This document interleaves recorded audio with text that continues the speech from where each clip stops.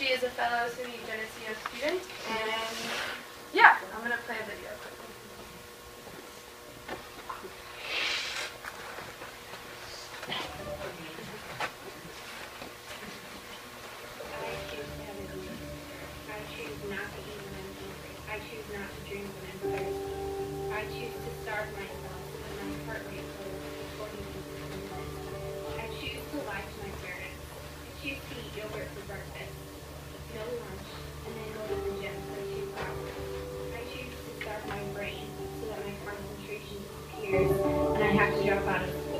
choose to yell at my mom when she tries to give me a glass of orange juice.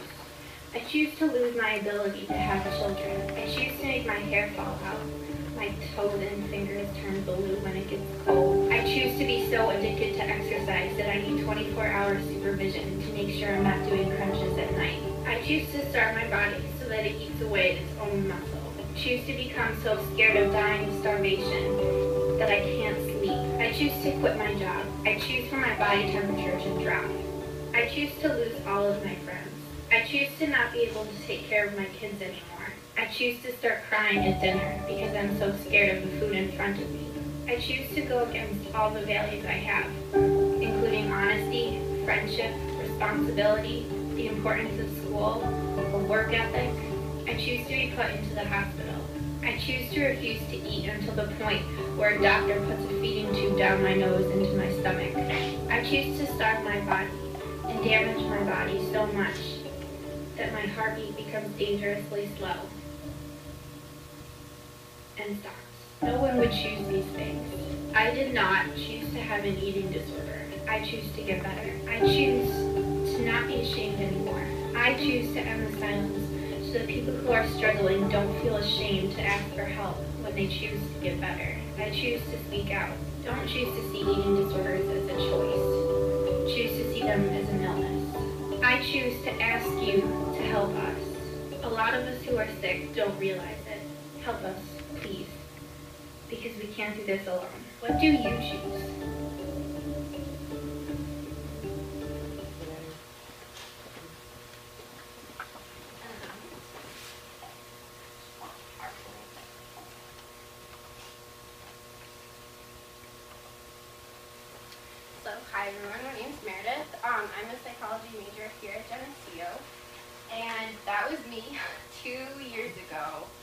Um, believe it or not. And so I just want to start off by thanking you all so much for asking me to be here today. It's a huge honor to bring the work that I do in Rochester and at Strong and bring it here because I love this school. So, and I also want to thank Mary Tantello as well.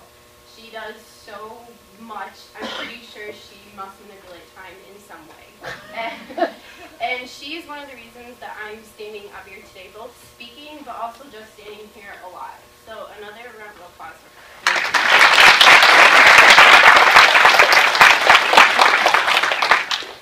So this all started for me a little over four years ago. I was a recent high school graduate, just going off to college, and had absolutely no knowledge or experience with eating disorders or positive body image or self-esteem, except to know that I had very little of either bod- positive body image or self-esteem. When I imagined leaving home and going to school, I thought of myself going to classes and making friends and going to parties, but mostly imagined my independence. And I was so excited for that. I'm sure a lot of you are. It's great to get out of your parents' house. And then reality hit, and it looked something like this. and while I came across confident, smart, hardworking college girl, like all of us who got accepted to SUNY Geneseo are, college was harder for me than I anticipated. I did well academically, but social-wise, I struggled a lot. I missed my friends. I missed my family.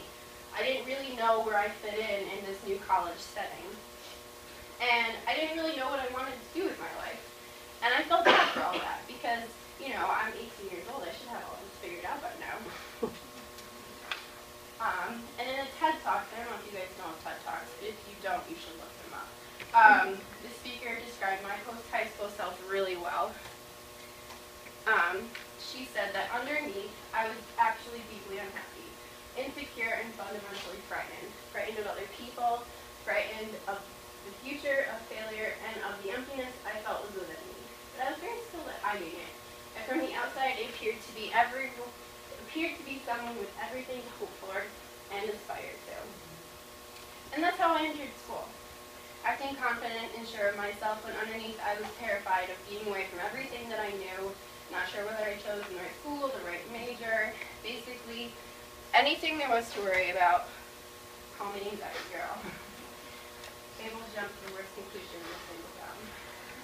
But there was no way I could have predicted anything that happened next. Because six months later, I was sitting on a step outside my therapist's office, 50 pounds thinner, trying to eat this. And it was the hardest thing I had ever done in my life. It felt like you're about to jump off the edge of the cliff, like bungee jumping. Like you're standing right on the edge and you're looking down, and every bone and muscle in your body's like, this is not a good idea. And it felt like I was risking my life. And at that point, I was terrified of food. Any food, of apples and carrots and oatmeal, not even thinking about cake or beer or chicken wings. Food was the scariest thing in the world to me. It was almost scarier to imagine eating than it was dying. So I turned Okay, we're going to come back to that. I turned from this, reservation, to this. And then I knew way more about eating disorders than I had ever wanted to. And I can figure out how to go back. Okay. Um, before I really get into more of my story, I just want to take a step back and describe briefly, as best I can, what it's like to live with an eating disorder. If I were to walk out on Court Street and just grab a random kid and drag him in here and ask them what they thought anorexia their answer would probably be something like not wanting to eat, lack of appetite, no food really sounds good to you, and that's what most people think. And if you look at Google, the first one is the Google definition, that's what the I, I call Google like the popular definition. It lack of loss of appetite for food, and also a desire to lose weight by refusing to eat. And that word refusing is key. And I'm going to come back to that. First, if you look at the DSM, the, it's the Diagnostic and Statistic Manual, so basically what psychologists or psychiatrists use to diagnose mental illness problems. You know, it says, you know, low body weight, or restricting of food. Then it says an intense fear of gaining weight or becoming fat, and disturbance in the way one's body weight or shape is experienced. And then the last part, an undue influence of body shape and weight on self-evaluation. So like Mary was saying, that last part means the way that you look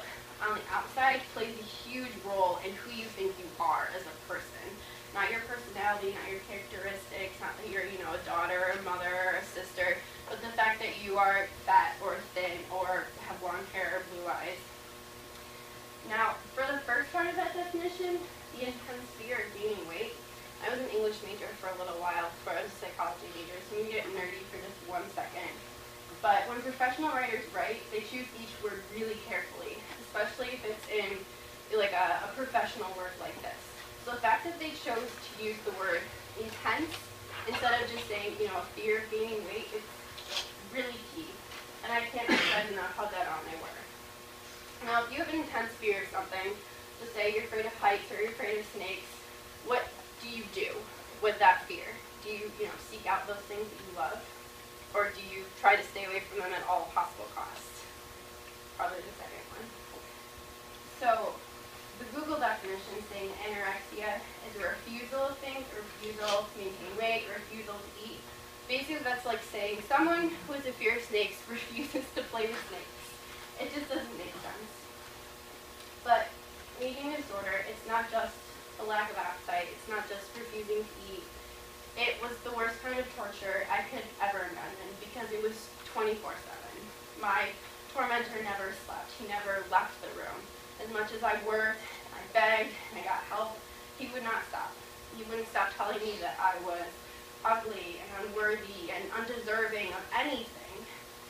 Restricting food and exercising was just the outside expression of what was actually happening inside, which was the worst part.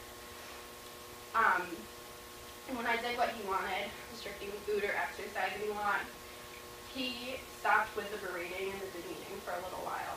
And when I didn't, things got worse. And he played off everything I did. It wasn't just the food and exercise. I got a bad grade on a test, I was the worst student in the world. And I actually believed it. And when I didn't return my parents' parents' phone call, I was a horrible daughter. When I didn't work out, I was weak and lazy and unmotivated. And that went on all day, every day. And when I would try to sleep, it got worse. Because then I would go over everything I had done during the day, everything I ate, everything I said. And I would criticize it and pick it apart. And mostly I would be afraid. I would be afraid of dying in my sleep because I knew that what I was doing was unhealthy. I, I knew how bad it was, but I did not know how to stop. So how did I get from graduating to crying over an apple? Started slowly at first, like most changes do. You know, you go to the gym more often, you start eating healthy, and I loved the way it made me feel. You know, going to the gym, working out, eating healthy, it makes you feel good because it's good for you. But then my internal struggles and fears and anxieties, they didn't go away. So in order to cope with them and make myself feel better, I started doing the gym and the exercising and healthy eating more and more. I remember passing my roommate in the hall one day, and I was headed to the gym for the second time. And she noticed and she said something to me, and, I said, well, you know, I like to do three miles every day, and I've only done two. And she at the time said, oh, like, good job, like, I wish I had that self-discipline. But in my head, a completely different story was going on. It wasn't just that I liked doing three miles a day, I needed to do three miles a day in order to feel even just okay about myself. And at first, I didn't really notice a problem with my habits or anything. this apple. Um, but I can tell you the exact moment that that changed. I'd gone out to dinner with friends. I'd been to Friendly's. And I still remember exactly what I ordered. This was four years ago. But I, I ordered a buffalo chicken wrap on wheat with a side of corn and a glass of water. And I was feeling great. You know, when you go out with your friends, people that you love, you, you come home, you're feeling energized and empowered. And then I looked up the caloric information for the food that I just eaten, which I would never advise you guys to do. It's the worst decision ever. but my mood instantly changed, and I started crying, and I was so upset, and the only thing I could think about was getting that food that I just eaten out. So I went to the gym and I exercised till I burned all the calories I just eaten. And I came home teary, sweaty. I didn't want to feel this way. No one wants to feel that way the thing that had once given me power had turned into a demon in my head. And it literally and figuratively ate away at me every day. That was the night I said I need to get help. So I got help. I went to therapy, and things worsened despite all that. Um, and the eating disorder ruled my life. Like Mary was talking about, one of the first things that happens is you start to isolate because the more people you hang out around, the more people who notice that what you're doing is unhealthy. And so I didn't go out because I might eat or drink something that I shouldn't. I didn't see my friends that often. And I thought about food all the time. Every waking second, I was planning meals that I would never eat, or making food for my roommates, or asking them, listen to my roommate during all this, asking her what she ate, like what did you have for breakfast, what did you have for lunch, what did you have for, oh, how did that taste, what, what, because I was so obsessed with food, the thing that I could not have. And so part of that is emotional, you know, when you can't have something, you, you just want it and you obsess over it. But part of it is biological too. When a person is starving as a human being, your brain makes you think about food because the more you think about something, the more likely you are to do it but I had to avoid food at all costs. So, um, and that's a lot harder than it sounds because food is everywhere. Food is here. You know, two years ago, I would have been terrified to come to this event. Not because, I mean, I would have been afraid to get up in front of you, but I would have been afraid of the food in the reception room. And what happens when your roommates go out to dinner? You know, do you go with them? Do you stay home? You do go out. What do you order? And how much of that do you eat? You have to plan with an eating disorder, you plan everything out ahead of time. So at times it was just annoying. And other times it was heartbreaking. How do you go to a family Easter or Thanksgiving with an eating disorder? How do you celebrate a birthday when you can hardly sit at a table, let alone have cake? And so instead of telling you guys about that, I'm going to show you a video